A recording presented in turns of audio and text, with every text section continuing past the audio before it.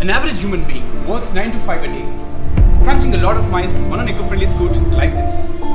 Probably has some errands to run for his wife or a chocolate to get for his girlfriend. well, when the day is finally over, he doesn't have time for himself. And this is when Sunday arrives.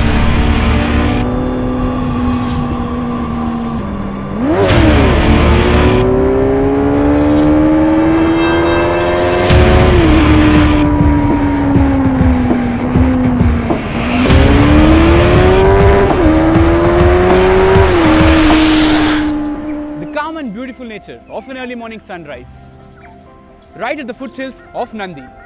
The tranquility that it provides can only be better complemented with the introduction of a bike as good as this, the Z800. As far as the introduction of the Z800 goes, it dates back to the early 1960s, where the original Z1000 was introduced.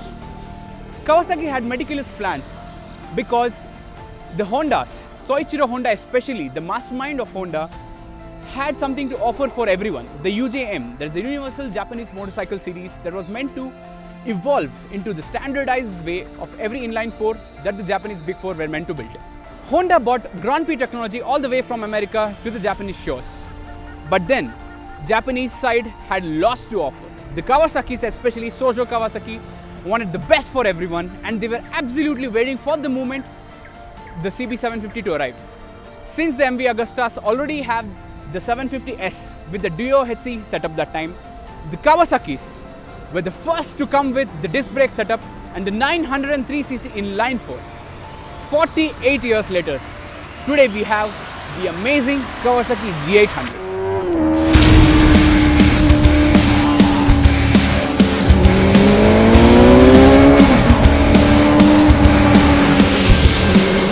Naked bikes, street fighters sexy, aggressive, fast, and oh so much fun in the city and back roads. Rhyme for wheelies and when hopping off any freeway or jumping off the line at the stoplight, nimble and perfect for splitting lanes during the times of congestion, delightful in the canyons on the track. For those days, you want to get a knee down. Kawasaki bikes enjoy a loyal fan following. Most owners won't even switch bikes easily, and this for a really good reason. These motorcycles have always been built with unique identity, DNA if you may, special something that experienced riders feel every time they take it on a ride.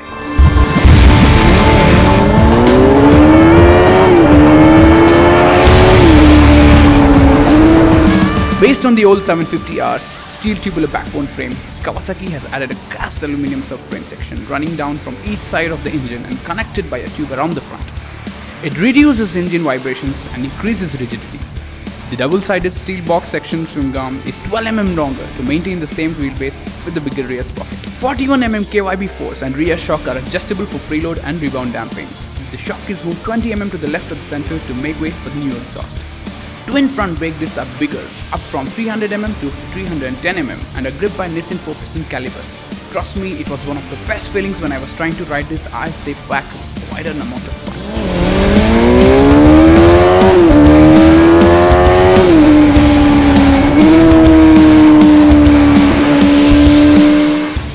The Z's liquid-cooled inline four-cylinder motor is bored out to 806cc. Power is up from the Z750's 105 bhp to 111 bhp and the overall gearing is shorter thanks to the 2-teeth bigger sprocket, up from 43 to 45. These two main changes are responsible for the Kawasaki's extra grunt out of the corners and my oh my the power all the way through the revs is so much intoxicating that every time you pull the throttle you feel like enjoying that intoxicating and amazing mid-range that you get.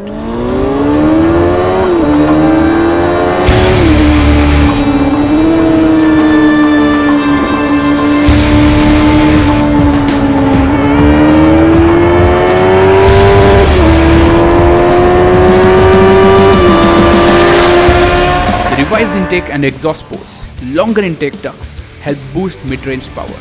This time, there's a fully aluminum die-cast cylinder head with plated bores, which is 1 kg lighter than before. 10% lighter pistons, bigger oil jets, wider radius crankshaft journals, a redesigned oil pan, a new cam chain with smaller side plates, and the throttle bodies are up 2 mm to 34 mm. For the fuel conscious, Kawasaki includes an eco mode notification on the dash that comes on when you maintain an engine speed under 6000 rpm. A lot of changes inside the gearbox and clutch mechanism offer more durability and an easier action. To boost a lot of mid-range, the exhaust header pipes are made as long as possible. They curve beautifully outwards before coming back underneath the engine and into a new stubby end can.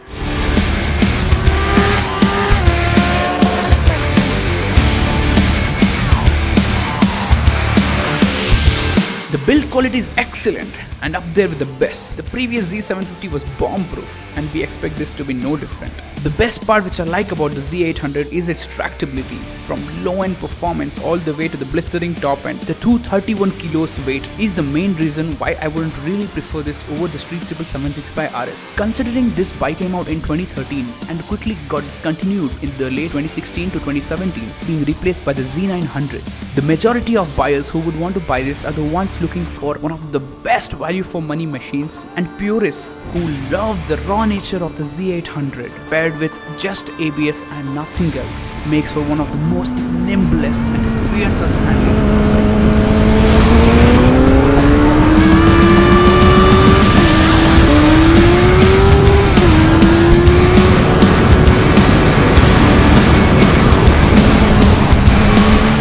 Agreed, it's not as great looking as its elder brother, the Z1000, which looks exactly came from an alien spaceship. Consider this no less. The instrument cluster is very easily readable. It may be a hit or miss, but the quality of it, the sheer build quality of every bit is something to watch for. Especially when you see the detailing of this bike.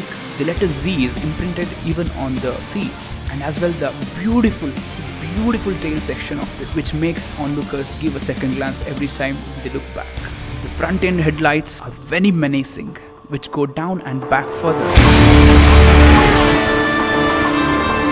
One of the best part is just a whack of the throttle and up comes the front wheel. One of the finest feelings you could have on a bike. As far as I collectively remember riding the GSX 750S, the Ducati Monster 821, the Duke 790 and the Street Triple 765 RS by far the punchiest motor would be the Street Triple 765 RS. Way up in the high end, it's one of the best feelings that you could find, one of the most nimblest handling bikes, and one of the lightest as well. The Duke 790 has one of the best low to mid-range power, with one of the best in class electronics package. The next would come the Ducati, which has a lot of character built into it.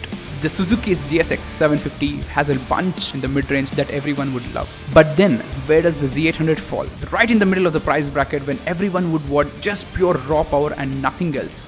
They just want Kawasaki's refinement. Their amazing features, especially with the raw engine motor, is one of the best paired with the price. If you like this video, don't forget to like, share and subscribe. Until next time, Get Set Anarchy.